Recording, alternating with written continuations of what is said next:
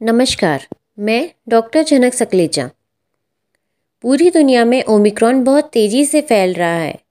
ऐसे में ये जानना ज़रूरी है कि ओमिक्रॉन के क्या क्या ज़रूरी सिम्टम्स हैं जो हमें पता होने चाहिए, जिससे हम अपने परिवार वालों का और ख़ुद का बचाव कर सकें।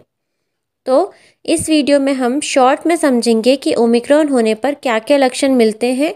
साथ ही जानेंगे कि ओमिक्रॉन वेरिएंट डेल्टा वेरिएंट से किस तरह से अलग है। देखिए, डेल्टा वेरिएंट में पेशेंट को फीवर यानी बुखार रहता था।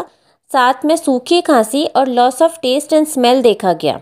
जबकि ओमिक्रॉन में ज़्यादातर पेशेंट को गले में दर्द, सर दर्द, थकान, सर्दी और जोड़ों में दर्द की शिकायत देखी जा रही है। जो डेल्टा वेरिएंट था, उसमें पेशेंट को लंग्स में इन्फ्लेमेशन होने के कारण पेशेंट को ब्रीदिंग प्रॉब्लम्स हो रही थी, जिसकी वजह से हॉस्पिटलाइजेशन की ज़रूरत पड़ रही थी।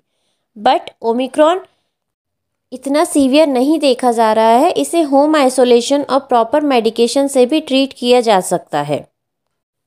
हमने देखा कि ओमिक्रॉन के पेशेंट को अभी तक की रिसर्च के अनुसार बुखार, गले में दर्द, खराश, सर दर्द वीकनेस यानी थकान और जोड़ों में दर्द महसूस होती है। तो अगर कोई सस्पेक्टेड पेशेंट हो तो उसे सबसे पहले अपना R T P C R test कराना चाहिए।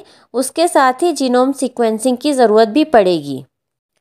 एंड अगर ये पॉजिटिव आता है तो आपको सबसे पहले आइसोलेट हो जाना चाहिए और इमीडिएटली अपने डॉक्टर से कंसल्ट करके मेडिकेशन स्टार्ट कर देनी चाहिए। सो so, इस वीडियो में हमने शॉर्ट में देखा कि ओमिक्रॉन होने पर क्या क्या सिम्टम्स मिलते हैं।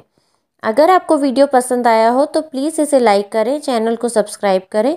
मिलते हैं नेक्स्ट वीडियो में। Till then take care, be healthy and safe. Thank you so much.